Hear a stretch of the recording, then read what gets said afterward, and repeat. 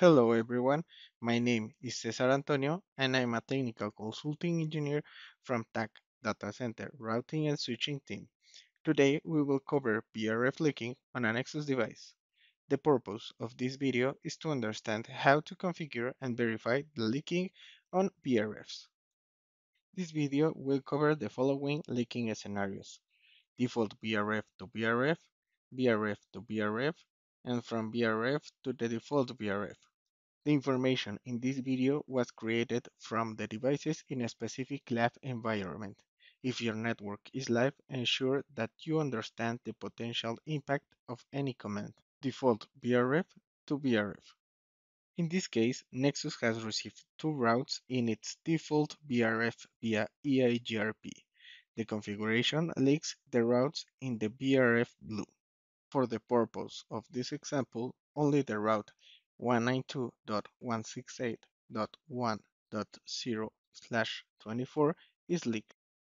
Redistribute the routes which exist in the default VRF routing table in BGP. Since the routes are in the default VRF, the redistribute command in BGP goes under the global address family IPv4 unicast section. Upon redistributing the routes into BGP, verify their presence through BGP within the default VRF. The import VRF default command is configured in the destination VRF. The command line requires a route map as a parameter in order to explicitly define the routes to be imported in the destination VRF, which in this case is the VRF name blue you can confirm in the destination VRF that the routes are now seen via BGP. Verify on the routing table of VRF Blue. VRF to VRF. In this case, Nexus has received two routes in its VRF red via EIGRP. The configuration leaks the routes in VRF blue redistribute the routes which exist in the VRF red routing table in BGP. Since the routes are in the VRF red, the redistribute command in BGP goes under the VRF red address family IPv4 unicast section. Upon redistributing the routes into BGP, we can verify their visibility via BGP within the VRF red. In order to leak between VRFs, the use of route targets is required. The origin VRF exports a route target value. The destination VRF imports the same route target value. Verify their visibility via BGP VRF red. You can confirm in the destination VRF that the routes are now seen via BGP.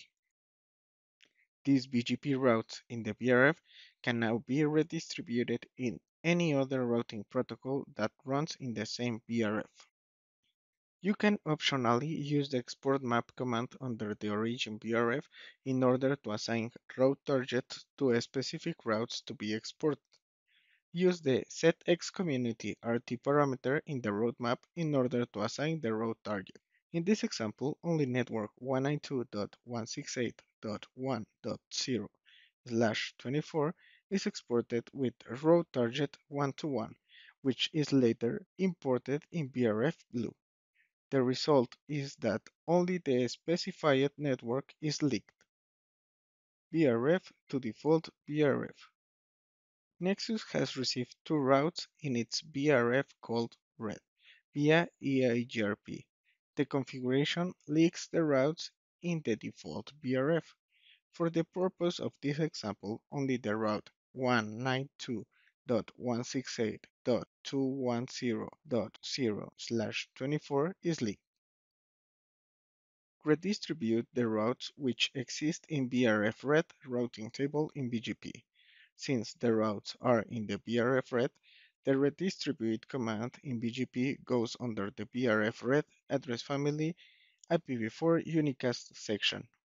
After redistribute the routes into BGP, we can confirm that now are seen via BGP on the VRF ref. The export VRF default command is configured in the origin VRF.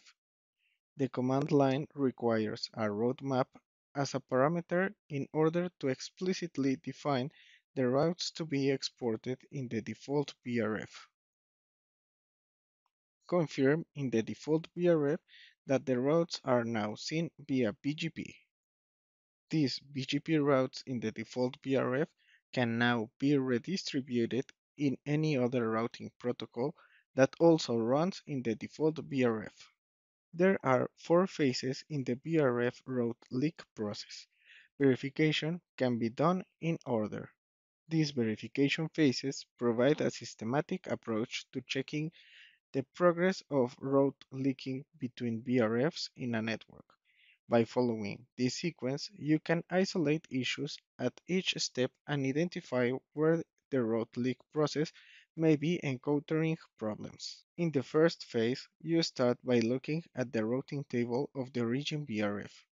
The origin VRF is in the VRF from which you are leaking routes.